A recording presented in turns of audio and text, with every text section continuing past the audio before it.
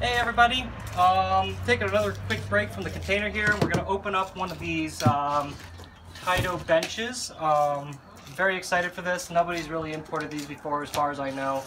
Um, up until now, these are basically unobtainium. I don't know what I'm going to do with them. Probably going to keep them. But uh, I wanted to import at least two of these as a test to see, um, kind of see like why nobody has or like just, just to do it.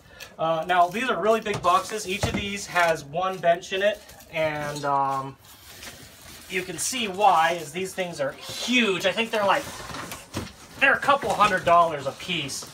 And uh, like the size and the weight, I can completely understand why, why they don't export them. So here's the top. Probably easier to just get it off this way. And we've got the bottom here, which I believe is adjustable. Move this out of the way. Let's put this stool on. Yeah, it's got a little lever there on the bottom.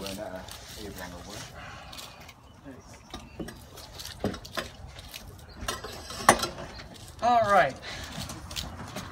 And here's one of the adjustable Taito benches that uh, so sought after. Nobody can get.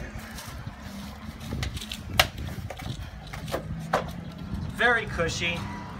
Um, let's check out the, uh, there we go, yeah, adjusts up and down, so, oh, they're, they're nice and springy too. Oh man. Uh, so it looks like it probably goes between around the 43 and 48 inch um, stool height. Perfect for both Vewlixes and normal cabs, but uh, yeah, these are pretty cool. Um, I have no idea how to ship these out. I mean, I guess like you could probably ship them out like this. They'll probably be pretty expensive, but um, down the line we may offer these for sale if we want to try and import a couple more. But uh, yeah, no, these are absolutely beautiful chairs. Um, really looking forward to putting these on my Vewlix and have a good time with it. Thanks for watching and uh, comment if you like below and uh, maybe we'll bring in a couple more and start uh, distributing them. Signing out.